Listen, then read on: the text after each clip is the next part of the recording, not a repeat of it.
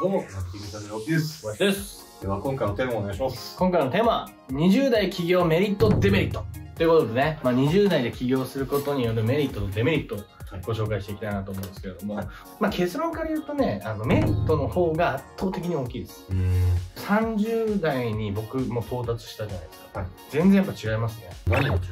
20代で起業するメリットって、周りをが自分を見る目が若いねっていう風に思われるわけですよ。で、これはいい面もあって悪い面もあるんだけど、いい面を話すと、なんか失敗をしても別にそんなに咎められることってないんですよね。なんかいい経験じゃんみたいな。それが起業というものだよみたいな感じで見られるし、まだ未熟だとしても、なんかまあこれからいろんなノウハウついていくもんねみたいな感じに思われるわけですよね。それは、周りの起業家の人からそう見られる。いや、結構ね、周りのクライアントさんとかも20代の人をめちゃめちゃ詰めるっていうのはあんまりなかったかもしれないですね。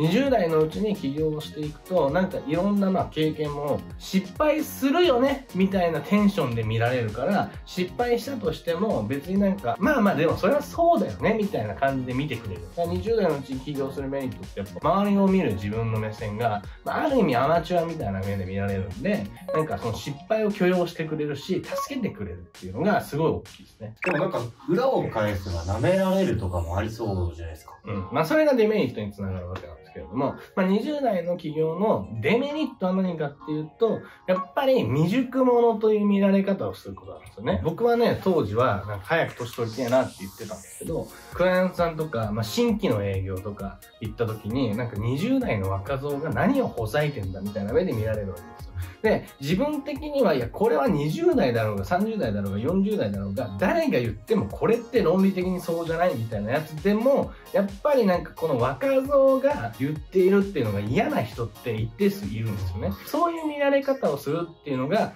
デメリットかなと思うんですけど、でもこのデメリットってメリットに比べるとめちゃめちゃちっちゃくて、なんでかっていうと、そういう風に見てくる人って、結果的に契約しない方がいい人なんですね。どうせなんかちっちゃい炎上とかでもギャーギャー言ってくるわけじゃないですか、多分そういう人って。でもまあ当時の僕とかはそんなのわからないんで、なんでそういう目で見んのみたいな感じでしか思ってなかったけど、今目の前にそういう経験をしてる子がいたとしたら、いや、そういう人とは付き合わなくても済むから、別にそいつがあなたを未熟者として見ようが別に関係ないよみたいなことは言いたいかなと思いますね。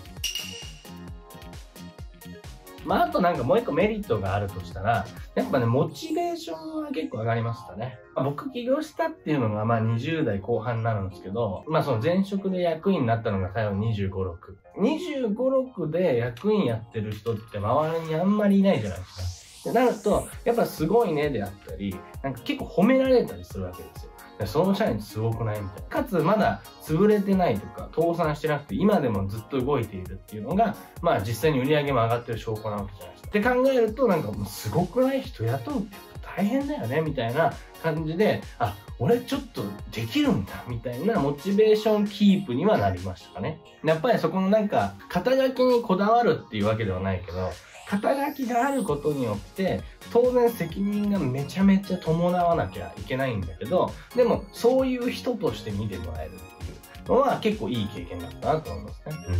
うん。それこその、その、責任だったり、プレッシャーがあるわけじゃないですか。うんそれは重荷に感じないですか？それを重荷にはもちろん感じるんだけどなんかそれを重荷に感じている20代って自分を含めるとすごい少ないんだろうなっていうのがなんかモチベーションになります。それが20代で起業したことによって良かったことだ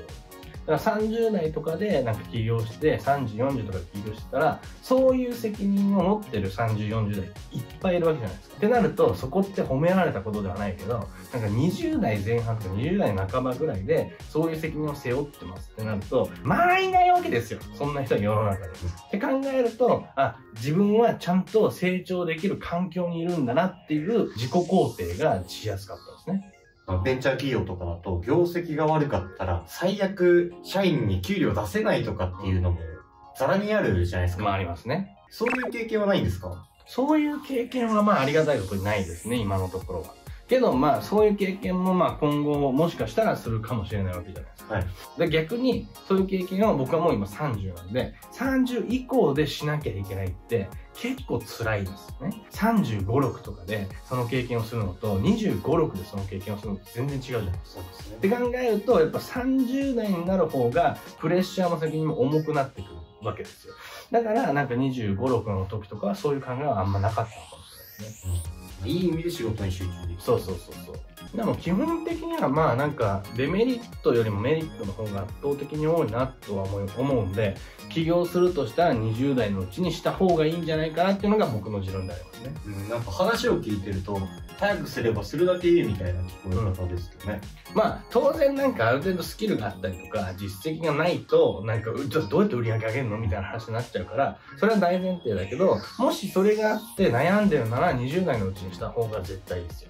30歳になったら起業するって言ってるやつで30歳になって起業するやつなんかほとんどいないですからね起業する人っていうのは大体早めに起業した方がいいっていうのがあるしなんか30歳になったから起業しやすいとかはないんで早い分にはめちゃめちゃいいかなと思いますねうん。ということで引き続きよろしくお願いしますよろしくお願いします。マーケティングチャンネルでは明日仕事仲間よりも一歩利用できる情報をどんどん配信していきたいと思います。よろしければチャンネル登録と高評価よろしくお願いします